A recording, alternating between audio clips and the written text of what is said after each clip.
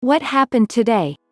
1. U.S. President Donald Trump has said that nationwide coronavirus guidelines will be extended for another month, citing model data suggesting that the U.S. should brace for the death rate to peak in two weeks. 2. The finance minister in the German state of Hesse, Thomas Schaefer, has taken his own life as he was pushed over the edge by an inability to cope with the harsh economic fallout from the COVID-19 pandemic. 3. The U.S.-led coalition withdrew from a military base in northern Iraq that nearly launched Washington into an open war with neighboring Iran.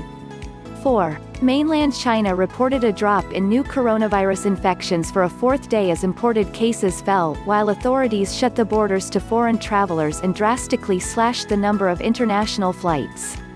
5. The number of deaths from coronavirus in Italy fell for the second consecutive day but the country still looked almost certain to see an extension of stringent containment measures.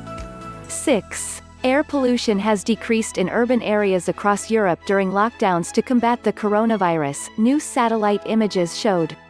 7. A medical evacuation plane exploded during takeoff in the Philippine capital, killing all eight passengers and crew, including an American and a Canadian.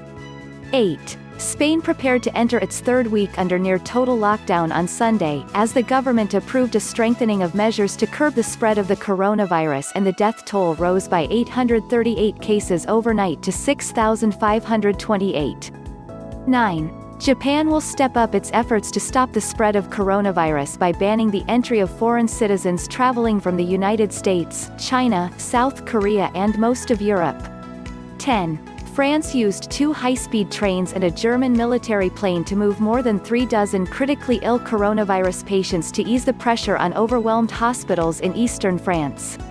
11. Moscow authorities will impose tighter restrictions on residents in an attempt to contain the spread of the new coronavirus, Mayor Sergei Sobyanin said. 12.